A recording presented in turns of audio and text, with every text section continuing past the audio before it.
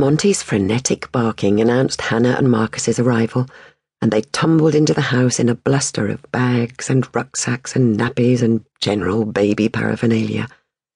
Hannah looked shattered. Marcus carried a sleeping Toby, still strapped into his car seat, into the kitchen, and placed him on the kitchen table. His little body jolted due to the heightened startle reflex, and he opened his eyes briefly, but then closed them again. Duncan enfolded Hannah in a big hug, then turned to Marcus and shook his hand. They got on well, Duncan and Marcus, and I was glad. My family was so small that every now and then I was gripped by a sense of absolute terror that something might happen to destroy it.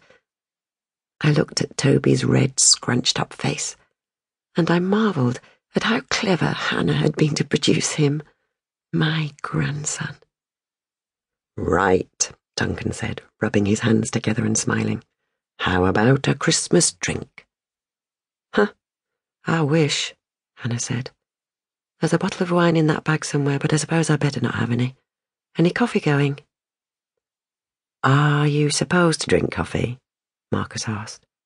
For God's sake, it's Christmas. But won't it? One cup, Marcus.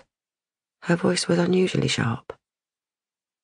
Marcus put his hands up in mock defense. Okay, okay. He grinned. Sorry. The lady wants coffee. The lady gotta have coffee. I made the coffee with hot milk just the way Hannah liked it.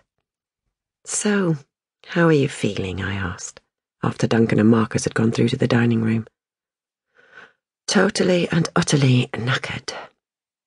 She sighed and sat down, pushing the car seat away so she could lean on the table and rest her head in her hands.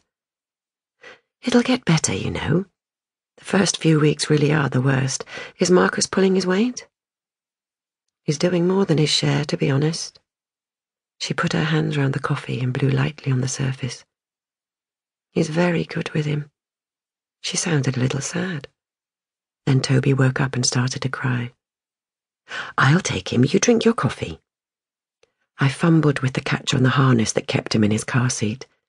It seemed so much more complicated than the clips I remembered. Here. Hannah leant across, snapped the clasp open easily, then sat back with a sigh as Toby's cries increased in intensity. He can't be hungry again, surely. I only fed him a couple of hours ago. Come on, sweetheart, I murmured as I lifted him from his chair and held his warm little body against my chest. He looked so sweet in his Christmas red baby grow and the navy cardigan that Hannah knitted when she was pregnant. We had a hell of a job finding those ladybird buttons, but Hannah knew exactly what she wanted. She had such a good eye for that sort of thing. He's perfect, I said, and so tiny and compact. I almost commented on how like Marcus he was, but something stopped me. Shush, I swayed back and forth with him as I walked around the kitchen trying to settle him. Shush, my little pickle. Let your poor mummy have her coffee. Shush, shush. Oh, shit. Hannah looked down. I'm leaking again. She grabbed a wipe from the quilted bag next to her and started dabbing at two wet spots that had appeared on her jumper. This keeps happening when he cries. She held her arms out. Better give him here. She lifted her jumper and held Toby in place until he seemed to sense or smell her milk and started to root frantically for the nipple. Then, after several attempts, he latched on and Hannah winced. Sore? I asked. She bit her bottom lip as she nodded. The health visitor said it was like breaking in a new pair of shoes, but either she's never had a baby or she wears shoes made of broken glass. I felt a flash of anger towards the health visitor. That's not very helpful, is it? Isn't there any cream they can give you? She nodded. But it doesn't get much of a chance to work, does it? It's like there's no escape. He's either clamped to my nipple